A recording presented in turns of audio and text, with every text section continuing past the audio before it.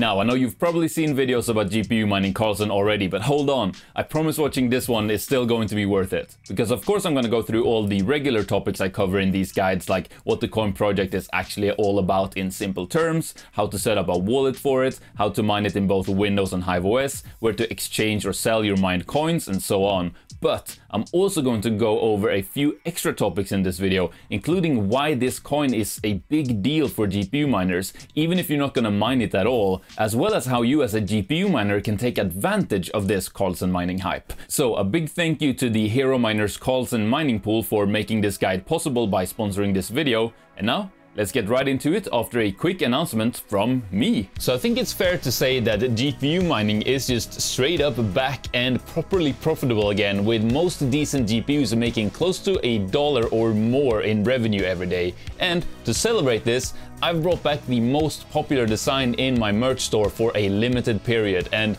it is this one, the skull biting the GPU. And if you're new, with my merch designs, I try to make it something that just straight up looks cool, even if you weren't even into mining at all. And with this design, it's kind of inspired by like 80s metal band t-shirts, and you can also get it on hoodies, coffee cups, or stickers. So check that out at gpuheadswithaz.com. It's a great way to support the channel here and also get something awesome in return. So yeah, gpuheadswithaz.com. Link is down in the video description as well. And now, let's learn about Karlsen. So what's the deal with Karlsen mining? Well, Karlsen is a brand new GPU mining focused coin that came out of nowhere and has been super profitable. And even though profitability has calmed down a bit since the first week or so, this is still a great and important news for GPU miners and here's why. So of course GPU mining used to be very profitable until Ethereum switched away from mining to staking. And at that point over a million people were mining Ethereum and Ethereum was also paying out roughly 19 million dollars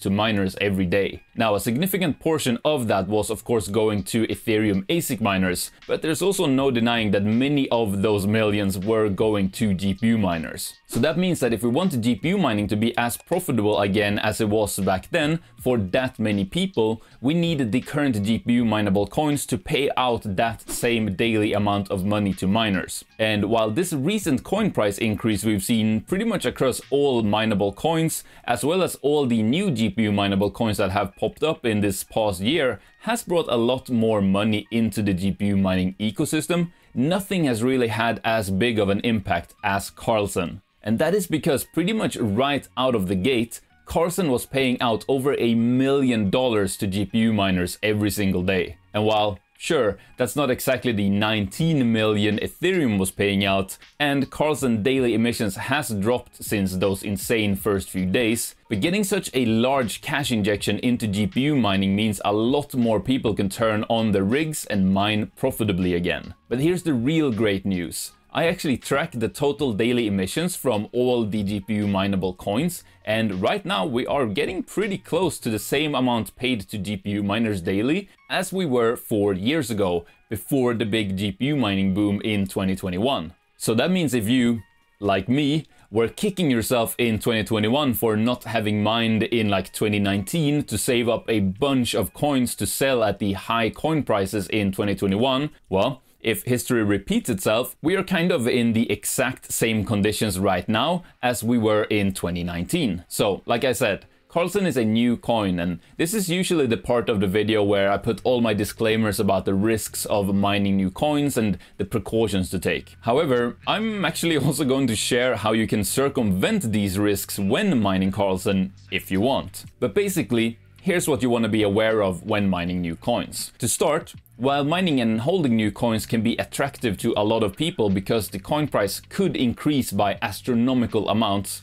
there is also a risk that the coin price could go all the way down to zero, which means you lose all of your mining earnings. Obviously, when coins are brand new, there is no track record proving them to be legit, so we can't know for sure until much later in the future if a project was actually on the up and up, or just a quick pump and dump, or even just a straight up scam. There can of course also be other risks involved too. For example, there is always a risk that the actual coin project itself could be nefarious. An example of this that we've seen before is where the wallet app for a new coin is just a disguised piece of malware. So while you think you're installing the official wallet app of a new coin, you're actually installing a computer virus that will for example, go in and steal all the crypto from all the other wallets you have installed on your network. Now, I'm not saying any of this is the case for Karlsen, just that they are general risks to be aware of when mining new coins, and I simply want to always make sure I put that in every video where I talk about mining newer coins. But as I said, you can also very easily get around these two main risks when mining Karlsen, and here's how. Starting with the risk of the wallet app being malware, well, not only does Karlsen as of recently offer a web wallet, which means you don't have to download or install anything on your computer, but also if you don't believe in the Karlsen project or don't want to risk the coin price going down while holding the coin, you can mine directly to an exchange and just swap your coins for something you have more faith in, like Bitcoin as an example. Or if you'd rather, I guess you could even just straight up cash out your Karlsen mining payouts to dollars or euros or whatever fiat currency you want. Now, mining directly to an exchange is usually not recommended, but as long as you make sure you only get a payout once a day or so from the mining pool, you're usually fine. Now I'm gonna go through more on what a pool is and how to change the payout threshold a bit later in this video, as well as what exchanges you can use to swap or sell your mined Karlsen coins. Alright, so next I'm gonna talk about what the Karlsen coin project actually is, and it's going to be a very short segment this time because Karlsen is just an exact copy of Kaspa, aka a fork of Kaspa, but with the mining algorithm changed from K heavy hash to a new algorithm called Karlsen hash. And this is done in an effort to make the coin ASIC resistant, meaning in practical terms that it's only supposed to be mined on GPUs. So Karlsen is just Kaspa without ASICs. And the Kaspa project is also pretty easy to explain as its main focus is to just be a coin with extremely fast transactions and a very big capacity for how many transactions can be sent at the same time. So, what is the purpose of making this Karlsen fork of Kaspa to begin with? Well, there is a fair point to be made for why a coin should be ASIC resistant and only support GPU mining. So, if you're unfamiliar, ASIC miners are basically purpose-built machines that can only mine one specific coin or algorithm. And these machines are astronomically more powerful than GPUs, but of course, as opposed to GPUs that can mine almost anything, the ASIC can only mine that one specific coin or algorithm. And the reason for not wanting ASICs built for your coin project is that it can hurt decentralization, which in very simple and practical terms means that the more different people around the world are mining a coin, the more secure the blockchain for that coin is. And with GPU mining, well, Basically anyone with a somewhat decent PC can mine your coin, meaning the potential for decentralization is fantastic. But with ASIC mining, the landscape is sadly that most ASICs are bought and run by massive mining farms, which means the network and blockchain for ASIC mineable coins are more or less controlled by these farms, which obviously is a bad thing for the security of that coin project. Alright, so that is that. My explanation of what the Karlsen Coin project is and also the main reason for why it was created in the first place. So what do you need to mine KLS? Well, as mentioned, the Karlsen blockchain uses the Karlsen hash algorithm, which is a GPU mining focused algorithm. So you'd need either a computer with a decent GPU or a dedicated GPU mining rig. On top of that, you also need a Karlsen wallet, a mining pool, and a mining software. Starting with the computer, if you're wanting to get started in GPU mining by building your first rig, I have a short video playlist going over all the best GPUs for mining, both in terms of value for money and power efficiency. I'll link that down in the video description. Down there you'll also find some of my recommended GPUs and mining rig parts listed if you don't care to watch those videos and just want to get the parts right away. Now to get optimal mining performance you'll need to overclock and undervolt your GPUs. And to do that you can either just copy some overclock settings from websites like hashrate.no, which will give you decent results, definitely better than just running your GPUs on stock settings, which I definitely don't recommend doing. But the best option is always to tweak your overclock settings yourself.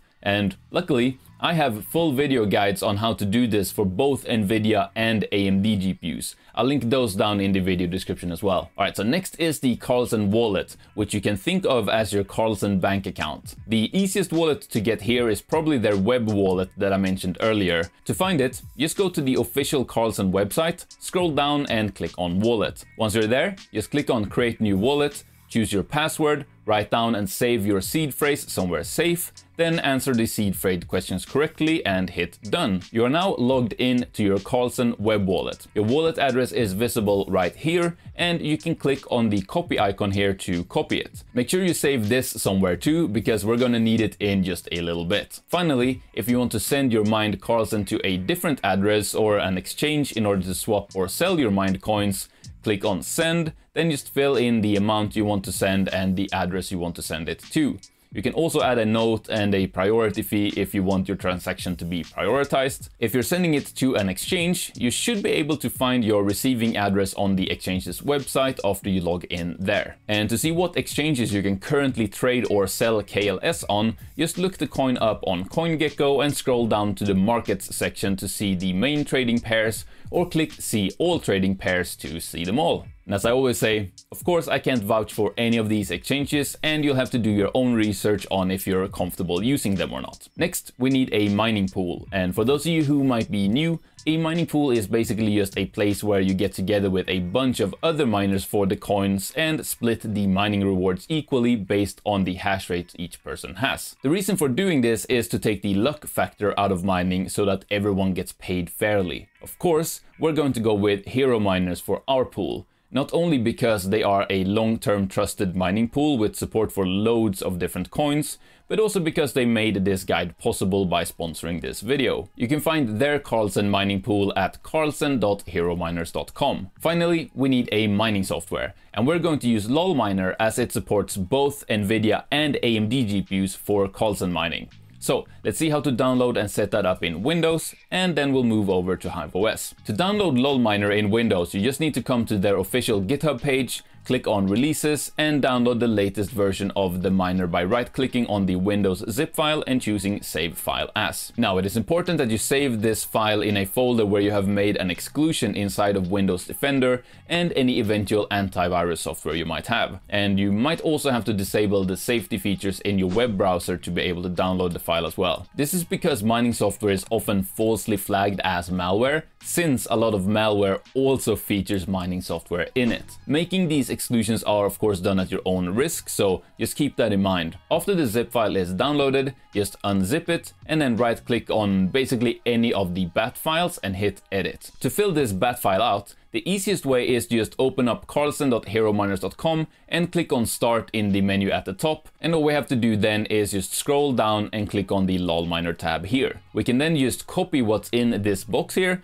and paste that into our bat file. Then we just need to paste in our wallet address that we copied from the web wallet earlier and fill in a name for our mining rig. I'll just go with Seb's rig 1 here. Finally, you just need to save that file, double click on it to run it, and that's it. You should now be up and mining KLS. If you're bumping into any issues at this point, you probably just need to restart your computer. And as for overclocking in Windows, you can just set your OC settings in either Radeon software for AMD GPUs or MSI Afterburner for NVIDIA GPUs. That's for sure the easiest way if you're just looking to mine a bit on the side with your gaming PC or something along those lines. However, if you're wanting to mine on a full dedicated GPU mining rig, you can instead add your OC settings using commands directly inside the bat file that we just made, which usually does add a little bit of stability to your mining rig. But that said, if you've got a full dedicated GPU mining rig, you're probably using HiveOS anyway. So let's have a look at that next. And setting up Karlsen mining is of course even easier in HiveOS. To start, if you have AMD GPUs, just add the overclock settings to your GPUs inside the worker dashboard like normal. But for NVIDIA GPUs, there is a slight advantage to putting your overclock settings inside the miner config in your flight sheet, and I'll show you how to do that when we get to that step in just a minute. But for now, just go to your flight sheets and create a new flight sheet. Select KLS as the coin, hit add wallet and fill in your wallet address that we copied from earlier. And then in the pool section, select Hero Miners as the pool and pick the server that is closest to you to get the fastest possible connection. Then in the miner field, pick LOL Miner. If you have NVIDIA GPUs and want to add your overclock settings in the miner config, just hit setup miner config and in the extra parameters box here, this is how you add your core clock, core offset, memory clock, memory offset and power limit. If you have multiple GPUs and want to give them different OC settings, you separate each GPU with a comma like I'm doing here. After this, you just name your flight sheet and that's it. You can now apply this flight sheet to your GPU mining rig and start mining Karlsen to your wallet. Now, one thing I haven't mentioned yet is that you can actually dual and even triple mine Karlsen on your GPUs, meaning you can mine Karlsen together with other coins to increase your mining profits. Let me know in the comments if you'd like to see a guide on that as well. Finally, to track our mining earnings, we just need to come back to karlsen.herominers.com and make sure you're on the home tab in the top menu. Then you scroll down and paste your wallet address in the field labeled your stats and payment history and then hit look up. You'll then be presented with all your mining statistics and you should be able to see all your mining rigs, your earnings and payouts. And if you're wondering how often you're gonna get paid, well, Hero miners have recently upgraded their Karlsen payout system and are now paying out your mining rewards every single hour as long as you've mined at least 10 KLS in that hour. If not, it of course just rolls over to the next hour until you've reached the minimum payout threshold of 10 KLS and then you'll get your payout. And by the way, Hero Miners also covers the transaction fees for all of your payouts, so you're getting your payouts completely fee-free with them. Now, if you don't want to be paid every single hour, you can click on the settings button in the top menu, and here you can change your minimum payout threshold if you want. This is a good way to make sure your payments are less frequent for example, you might want to do this if you're mining directly to an exchange wallet. Please subscribe for more mining videos and over here on the screen I'll put a playlist with all those videos about the best GPU to get for mining as well as my video on how to properly overclock AMD GPUs. So I'll see you there. Thanks for watching.